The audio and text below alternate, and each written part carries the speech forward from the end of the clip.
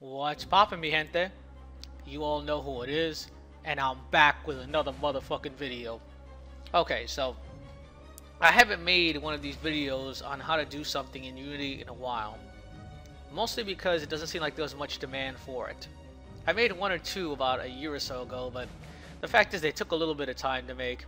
And there really wasn't a lot of positive responses to it. Not many people really seemed interested in me creating a series showing how I'm doing these different things for a 2D game in Unity, which is fine. I understand it completely. But in this particular case, since this is something that is going to allow me to show off what I've completed in the last couple of weeks or so, while simultaneously discussing how to do something that I think could be extremely helpful to anybody else out there who's struggling with setting up a 2D game in Unity, well, I decided why not do it. It kills two birds with one stone. So, I'm going to dive right in, Alright, so what we're primarily going to focus on is setting up the hitboxing for Dracula's second form. And the reason is Dracula's second form has a very curvy, uneven shape to it. It's not as simple as Dracula 1's first form, where a simple box collider over his head would take care of what we need, similar to what I did here for his face. You know, and that box collider is just moved around with the head to keep it fairly centered, in a position where whenever you hit it, I make sure that the hit's going to register, he's going to take extra damage. Um, his body's now hittable too, but the head takes extra damage. So I just want to mention that briefly because I know in my original release the head was the only thing you can hurt. Well, here you can hurt the body, which makes it so that things like holy water are a lot more useful. But the body takes much less damage than the head does. I think at the moment I currently have it set so the body takes 1 8 damage compared to the head itself. But still, it makes it so that if you can't jump up at a particular moment and hit the face because an attack's coming or you're behind him, you can still score a couple of hits to kind of drain his energy a little more, which gives you more incentive to be more offensive. Much like I did with in the original GM release with Dracula 1, you can hit him as he's teleporting out in the head still, but he takes less damage. It again gives you more incentive to sit there and do something versus just standing there and staring at him waiting, which is aggravating. It just doesn't make the fight as exciting. But I'm digressing here. Getting back onto the hitboxing. It's simple enough to do the hitbox of the face, but for the rest of the body, I would have needed a polygonal collider. And here's the problem with a polygonal collider. I would have had to change it each frame to match this body shape, and that just was not feasible. It would have taken forever to do. Um, so instead, I chose to use different box colliders at first. I had about six of them, and they were rotated. They were scaled down to different sizes so that they'd cover his legs, his crotch, his body and his arms, but that was also very slow. I had to change those every step of the way, and it was taking a very long time to get it just right, and I just didn't like it. So then I looked into something they put in, I think about two years ago, maybe a little less, into Unity, known as custom physics shapes. And what a custom physics shape is, you go into the sprite editor, select custom physics shapes here, and it's kind of hard to see, so I'm going to go ahead and change this to black and white. And this series of squares and lines right here is the physics shape that basically when you attach a polygonal collider to this particular sprite here, it'll tell it what shape to use automatically when that polygonal collider is attached. And you can see here, I cut it out so that the head's not included so I can make my own separate box collider for that so that it counts as a weak point and the rest of this doesn't. Um, and that sounds pretty easy. You just go through each sprite, set up your polygonal collider, your custom physics shape, pardon me, and then you would think, okay, I attach my polygonal collider, and every time the sprite changes, that polygonal collider will change as well.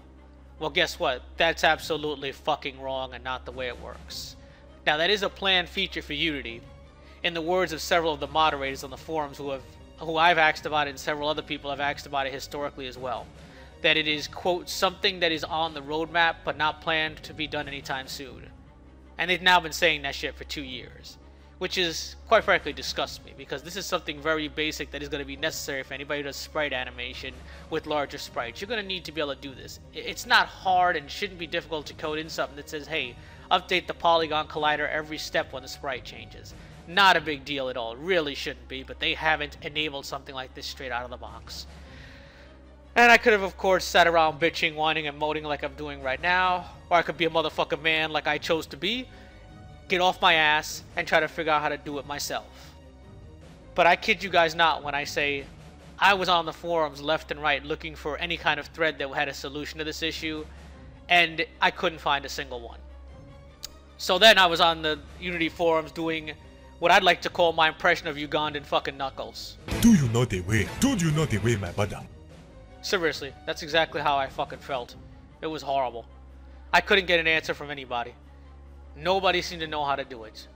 The best thing they can come up with was some kind of long programmatic advanced option where I coded my own little utility and it was like, no, this is something that should come straight out of the box. I'm not looking to spend days and weeks trying to figure something out like this, this pivotal.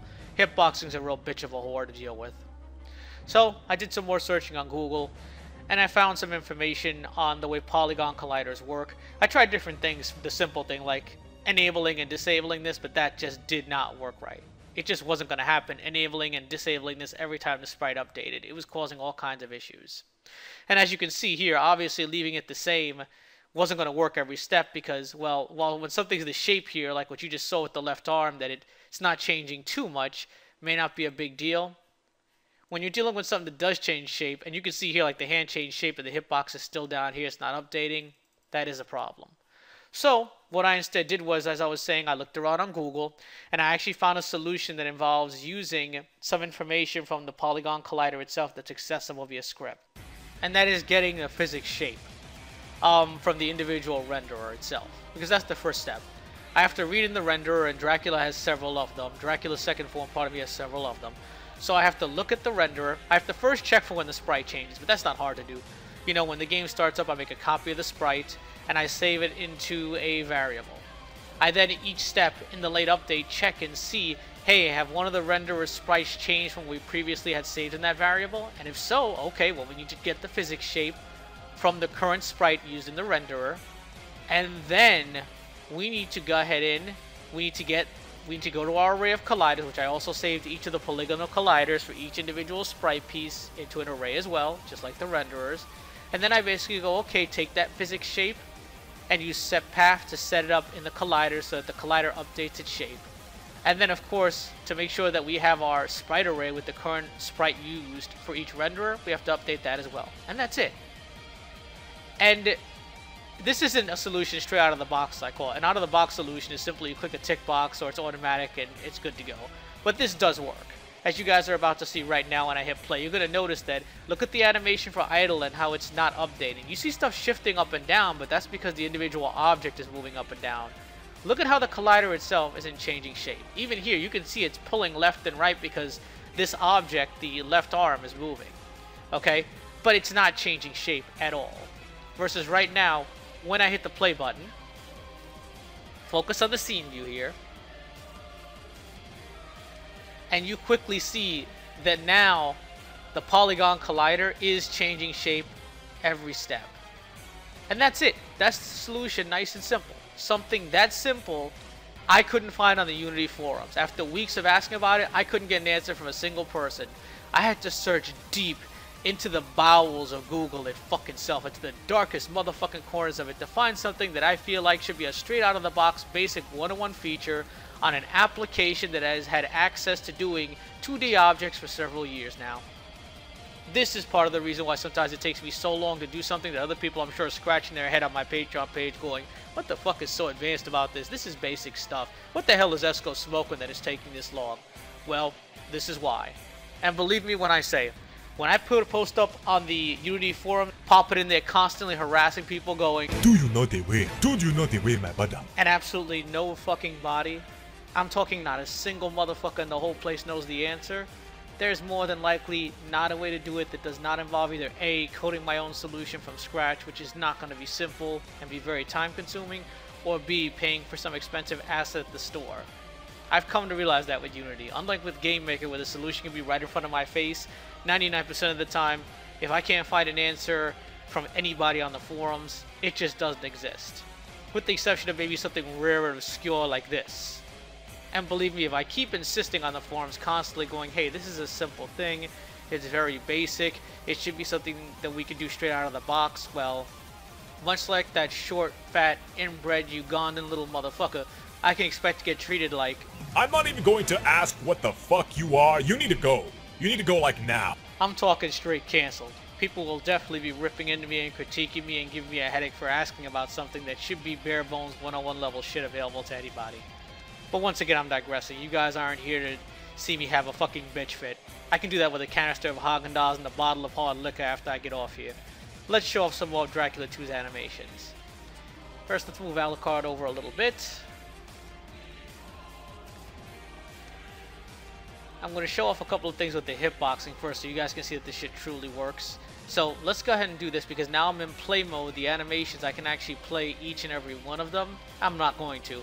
But it'll actually show you the hitbox updating even without, because the game's not technically paused. But even from the animation itself, it can do it. And you can see here the hitboxing is perfectly accurate to what I set up under the sprite sheet. And that makes life a lot simpler for me because now it's just simply a matter of position the sprites, set up the position of the hitbox for the head, and everything else is automatically going to be done for me via my script. There was one particular headache I ran into, and that's when you don't have a sprite being used for one of these objects that has a collider attached to it. In that case, I had to put in an extra line, which if you go back, rewind the video, and look at the script, you'll notice there's a line that says, if the collider is enabled, I had to put that in because if not, I'd get a small error down here. It didn't afford, it didn't affect gameplay, but again, I wanted to make sure it wasn't something that could potentially crash the game, and it's just not a good coding practice to even let errors pop up that you don't think could ever potentially harm anything. You'd be surprised how somewhere somebody's system will be having a fucking meltdown just because of that little bug that won't affect anybody else on the planet, and it's just aggravating. Okay, so next up, I'm going to show you a couple of the animations here. To zoom into the actual game view. And you can see his jump animation there, obviously. Nothing too fancy. It's got two parts to it. That's the jumping upward part. His old fireball animation now has lighting on it. It actually plays every time because I'm going from an animation here. It doesn't function perfectly. If I was to actually set it up over here to be active, it would. Let's go mute that audio. That's going to get annoying really fast. Gigavolt, which without the effect isn't very interesting to look at. So let's go ahead and go to the charge up effect. Actually, I got a better idea because I have this animation set to not loop here, and this video is already getting a little long. So let's go ahead and do this. Layer default state. Okay, now he's locked in. Let's go ahead and briefly pause the game so otherwise, because otherwise this thing's going to immediately fire off as soon as I put it in here. Also, let me say credit goes to Mitri for this amazing effect. Did a hell of a job with it. This isn't going to be perfectly centered because I haven't coded it in yet to be spawned when he goes into this animation, but you guys will get the idea. Keep your view up here on the game view. I'm going to go and go to full screen mode as well and unmute the audio. Alucard might actually take some damage here if I don't move him back a bit, so I move him slightly because this has a pretty big blast radius.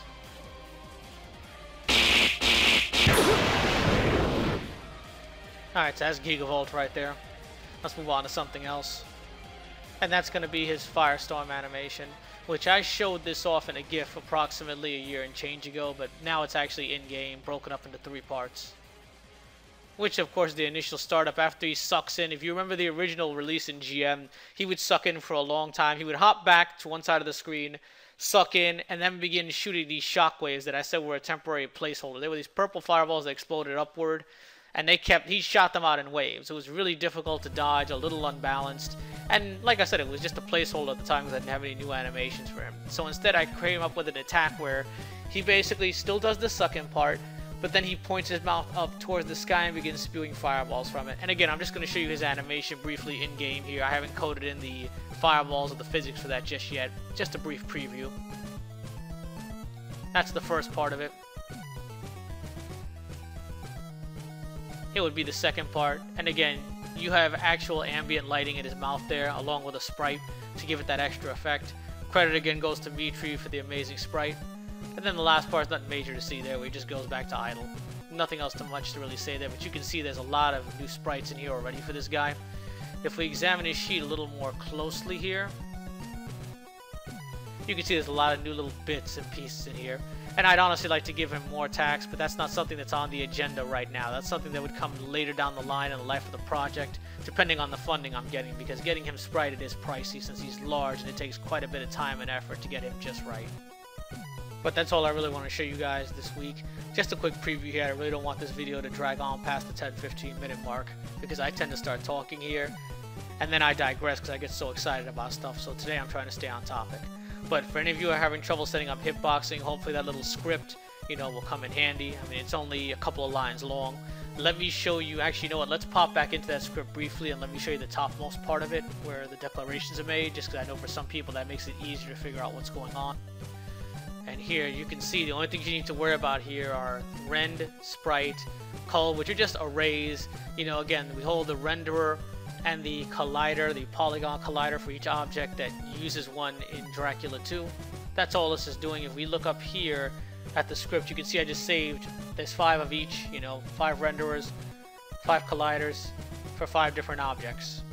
And then of course the sprite array is just as soon as this object is created, it's going, okay, for these five objects, what are the default sprites in them? Let me save them here, because this way every step when it compares the sprites, it knows, okay, the sprites changed, let's check the collider is enabled, okay, get the physics shape from that particular sprite, update the collider, update what sprite we have saved in the sprite array so we know when we change it again, and that's it.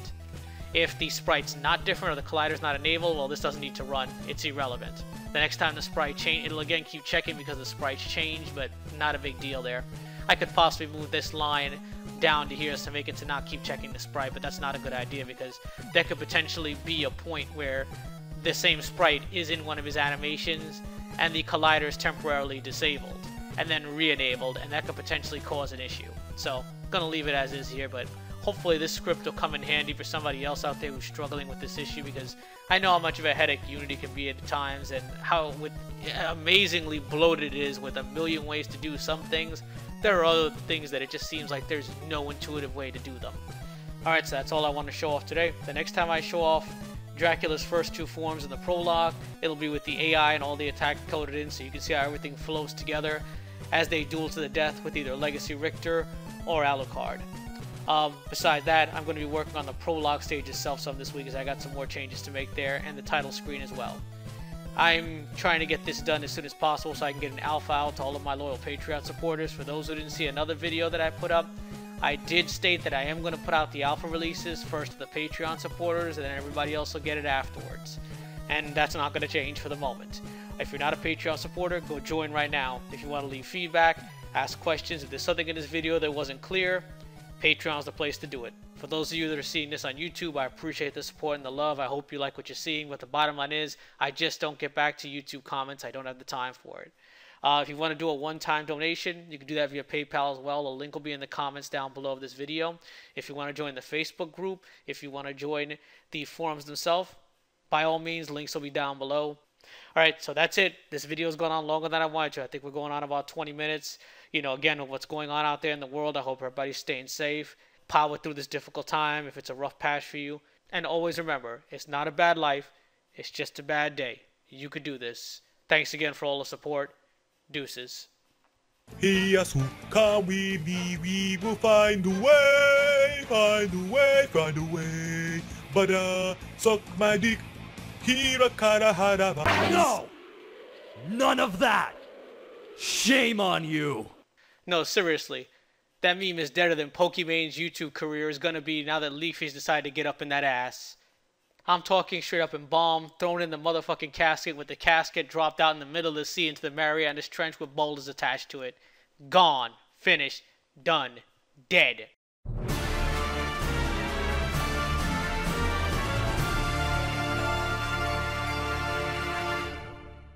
Oh! Motherfucker.